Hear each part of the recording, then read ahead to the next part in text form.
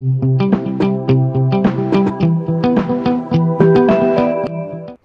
everyone, in this video you're going to learn how to project a pentagonal lamina.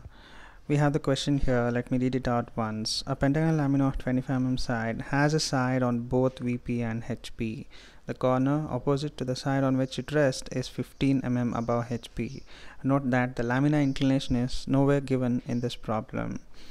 So let us note down these data and understand how to solve this problem. I have listed down the data from the problem that we just read now. So here we have a pentagonal lamina which is of 25 millimeter side having a side on both HP and VP. I'm underlining it because this is a quite a bit of different type of condition which you will find in very few problems in your syllabus.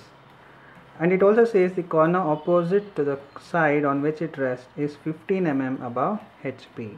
Now in the first position we always ask the question where to draw the plane figure whether on VP or on HP. So if you have a look at the lamina inclination or on what the lamina is resting the lamina inclination is nowhere mentioned here.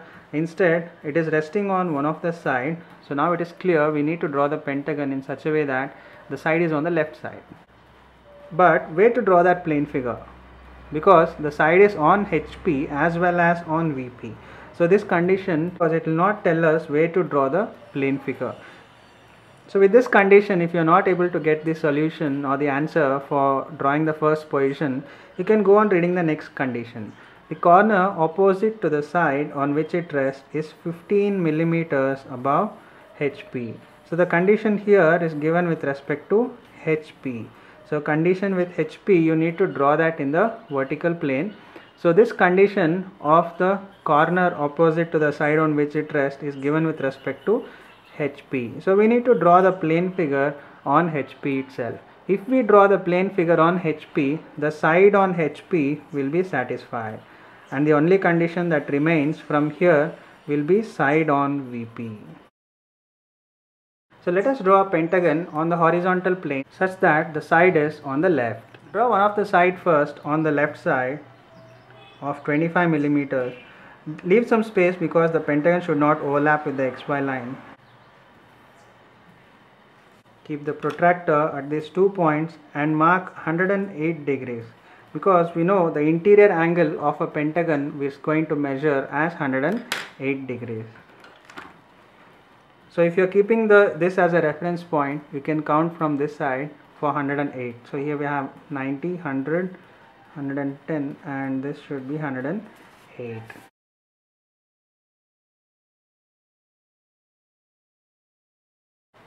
When you take this one as reference point, start counting the angle from where the line is present. So now if I keep this one as reference point, line is present over here. So I'll count the graduations over this side.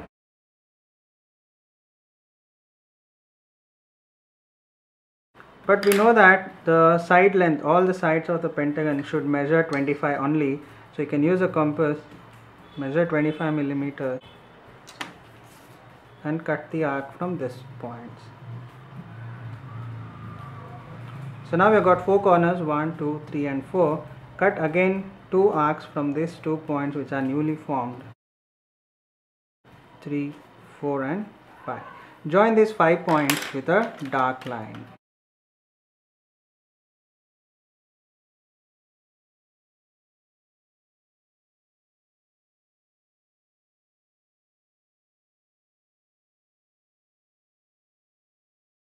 Remember the interior angles of the pentagon should always measure 108 degrees. So now the top view is done we can complete the first position by drawing the front view by drawing projection lines from all the points.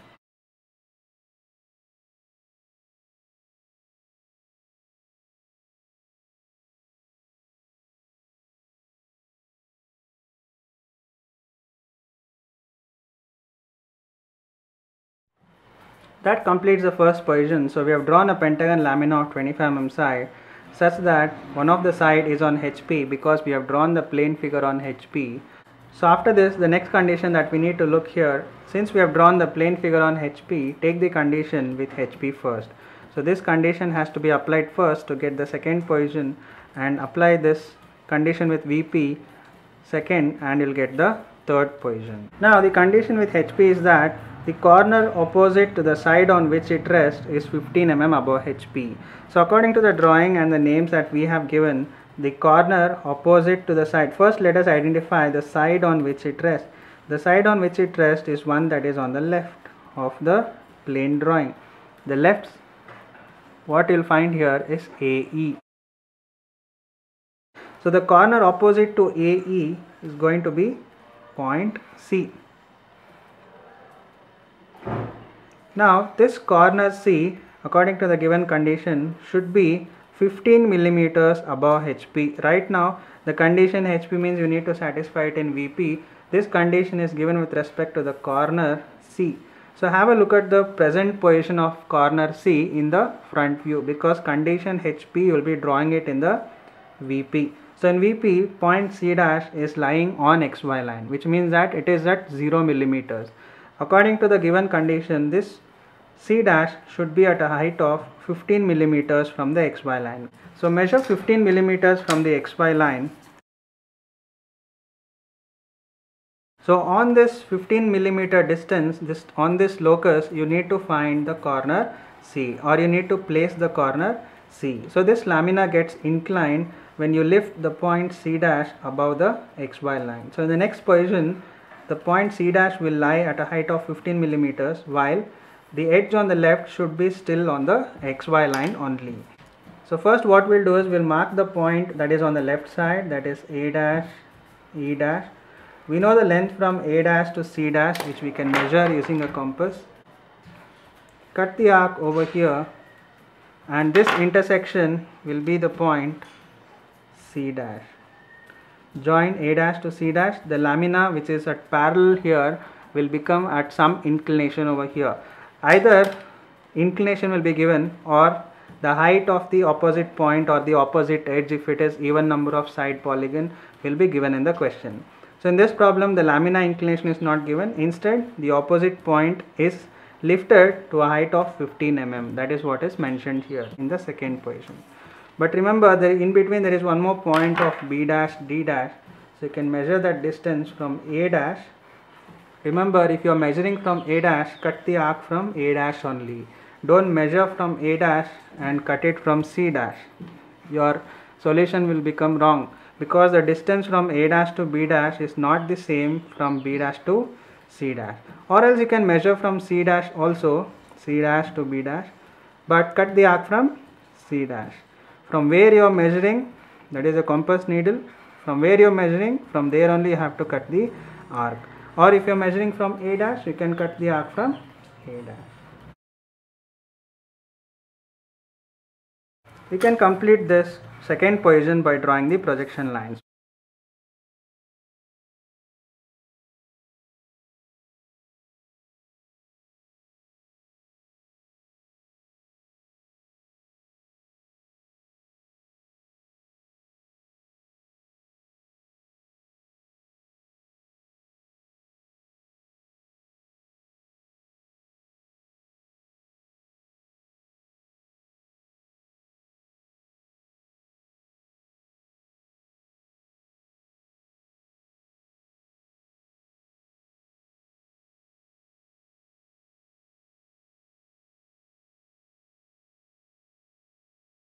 Check the checklist. We have done with pentagon lamina 25 mm side having a side on HP we have made the corner opposite to the side on which it rests that is point C dash 15 mm above horizontal plane. So now we have only one condition left that is the side on VP which side is on VP according to the given question we have a side on HP and VP which means that the same side that is on HP should also be kept on the vertical plane. So according to the drawing what we have made, the one that is on the left is the resting edge that is AE as we already identified it, right? So this AE is also on VP. On VP means it is simply 0 millimeters from VP, right? So this edge AE should be 0 millimeter from VP. Condition with VP, we will be drawing this or plotting this in the opposite plane that is HP. Where is this point or side AE right now on the horizontal plane? If you have a look at the drawing, AE is present here.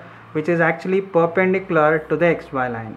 But the question says the point or the edge AE should be on VP which means 0 millimeter from VP.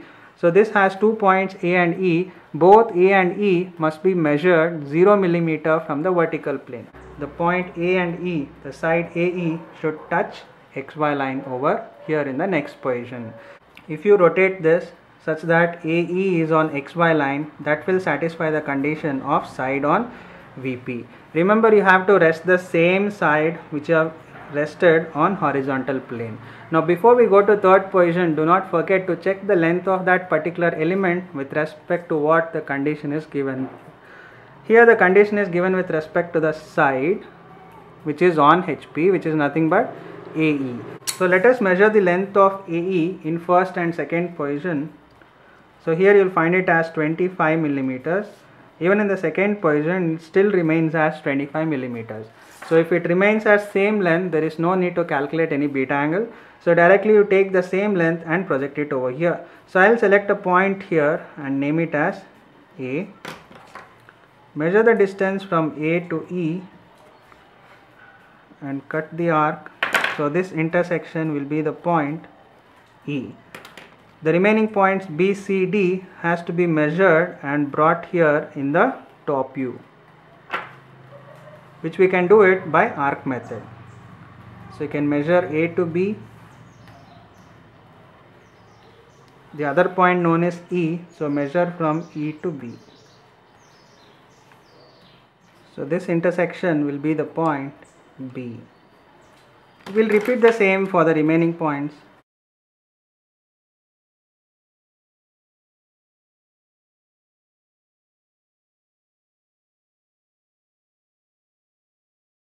Now remember not to measure the point C from B and D. The first two points that we marked are A and E only. So you have to measure the remaining points from the first two points that you have marked that is A and E only. Don't measure B to C. If you do that your solution will go wrong. So measure it from the first two points that you marked that is A and E.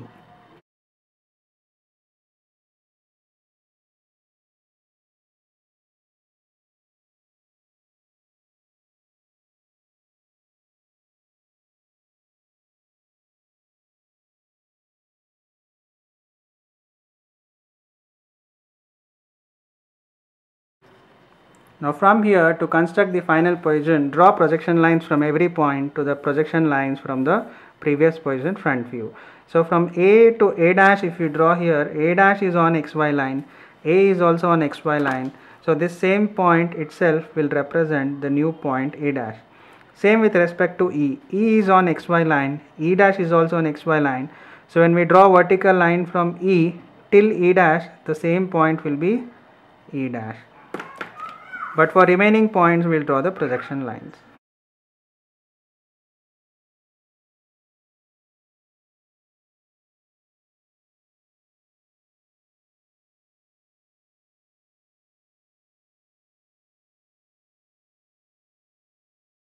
Join these 5 points with a dark line that completes the solution.